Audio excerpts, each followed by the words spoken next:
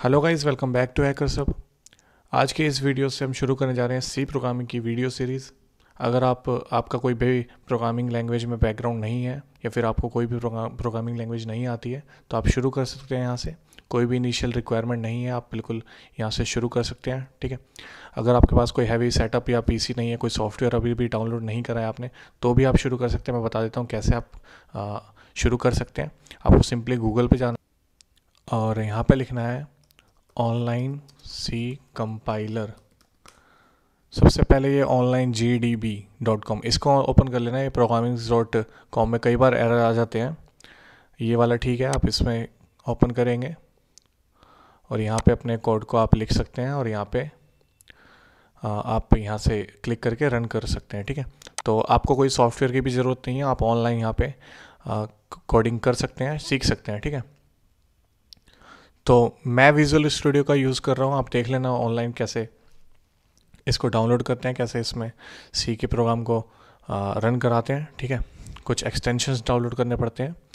तो मैंने एक फ़ोल्डर बना लिया है सी प्रोग्रामिंग के नाम से, जिसमें हम इस वीडियो पूरी की पूरी वीडियो सीरीज़ में जो भी हम सीखेंगे, वो इसी के अंदर मैं फ़ाइल में स्टोर करूँगा।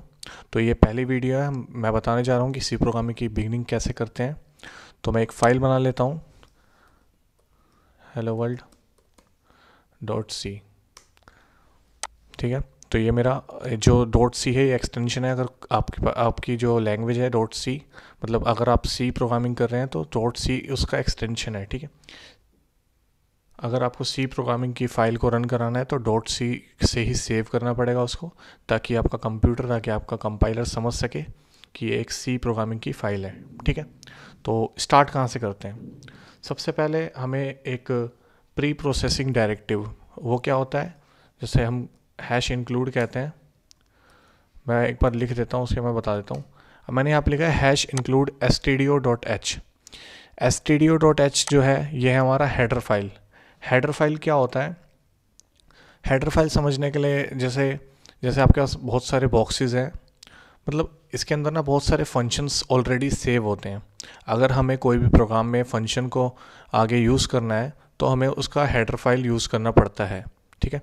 एस का मतलब मैं इस प्रोग्राम में कुछ ना कुछ इनपुट कराने जा रहा हूँ, कुछ ना कुछ एक्सपेक्ट कर रहा हूँ कि मेरा प्रोग्राम कुछ ना कुछ आउटपुट करेगा। तो नॉर्मल प्रोग्राम तो ये इनपुट या आउटपुट तो करना ही चाहिए। तो एस आपको लगभग हर प्रोग्राम में लिखना ही है। हैश इंक्लूड क्या है कि इसको इसको इंक्लूड करो अपने प्रोग्राम में सबसे पहले। ठीक है? ये जो हेडर फ़ाइल है, इसको इंक्लूड कर देगा ये।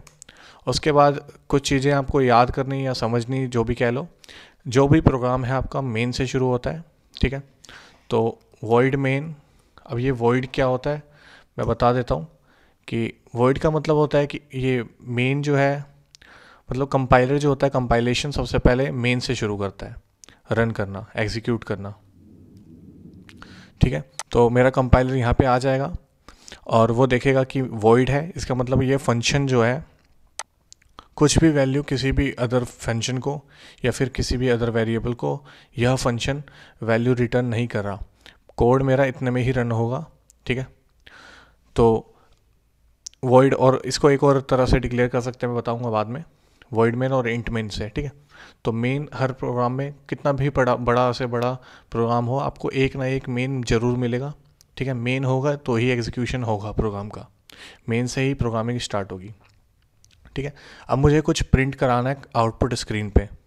ठीक है तो उसके लिए मैंने बताया था कि आ, मैं टी का S T D O S T D I O dot H का यूज़ कर रहा हूँ। तो इसमें फ़ंक्शंस होते हैं।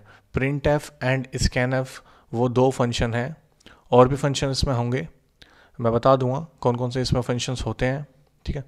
तो इसमें अभी मैं जो बता रहा हूँ आपके वो है scan F and print F scan F से इनपुट कराते हैं और प्रिंट एफ़ से आउटपुट तो प्रिंट एफ़ से आउटपुट कैसे कराते हैं? इस डबल कोड्स के अंदर जो भी मैं लिखूँगा, वो चीज़ एज इट इज़ उठा के वो आउटपुट स्क्रीन पर प्रिंट हो जाएगी. जैसे मैं लिखूँगा हेलो वर्ल्ड ठीक है? और यहाँ पे लगाना है semicolon semicolon C and C C plus plus programming की जान होती है.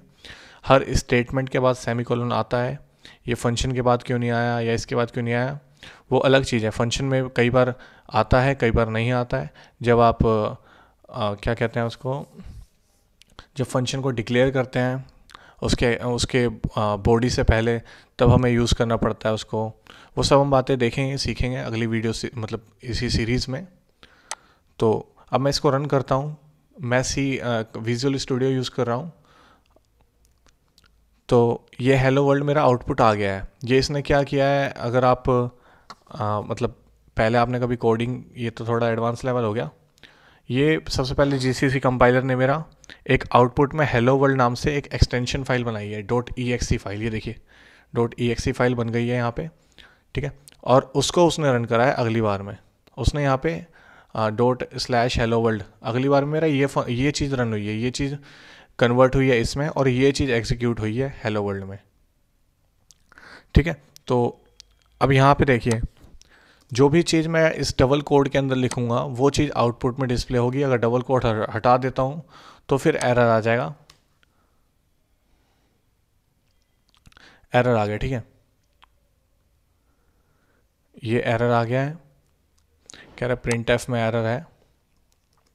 तो डबल कोड का यूज़ करना है। आपको अगर कुछ भी चीज़ एज इट इज़ आपको, आप चाहते हो कि वो मेरी आउटपुट स्क्रीन पे डिस्प्ले हो। तो अगर, यहाँ पे मैं हेलो वर्ल्ड की जगह कोई नंबर भी लिख देता हूँ तो भी वो आउटपुट की स्क्रीन पर एज इट इज़ डिस्प्ले होगा। आप देख सकते हैं थ्री फोर फाइव मैंने लिखा है और यहाँ पे three four five out output screen पर आ गया है। कुछ स्पेशल करेक्टर्स हैं, जैसे मैं अगर ऐसे लिख दूँ हेलो वर्ल्ड तो आप देख सकते हैं नेक्स्ट लाइन में आ गया तो स्लैश एन का यूज़ आप समझ गए होंगे कि नेक्स्ट लाइन के लिए ये यूज़ होता है। मैं यहाँ पे कमेंट भी यूज़ कर सकता हूँ। This is for next line ठीक है? डबल ऐसे स्लैश का क्वेश्चन मार्क के नीचे वाला है, ठीक है? इसका यूज़ कर सकते हैं आप कमेंट के लिए। कमेंट क्या होता है कि जो कंपाइलर इग्नोर कर देता है। ठीक है? कंपाइलर इसको कोड नहीं समझेगा, इसको इग्नोर कर देगा और इस पर ध्यान ही नहीं देगा वो, ठीक है? ये हमारे लिए होता है जो डेवलपर्स वगैरह होते हैं। तो उसके लिए होता है कि जैसे बहुत बड़ा बड़ा अगर फ़ंक्शन होंगे कोड होगा तो डेवलपर्स को इजी रहेगा समझने के लिए कि इसका मतलब क्या है, इस फ़ंक्शन का हेल्प मतलब यूज़ क्या है, क्यों लिखा गया है इस फ़ंक्शन फ़ंक्शन को, ठीक है? तो कमेंट का यूज़ ये था और स्लैश एन का मतलब नेक्स्ट लाइन वैसे ही स्लैश टी होता है स्पेसिंग के लिए। ठीक है, आप देख सकते हैं हेलो और वर्ल्ड के बीच में स्पेसिंग मिल गई है काफ़ी। ठीक है तो इस वीडियो के लिए इतना ही। चैनल को सब्सक्राइब कर देना लाइक कर देना अगर आपको वीडियो अच्छे लगे तो शेयर कर देना और अगली वीडियो देखिए।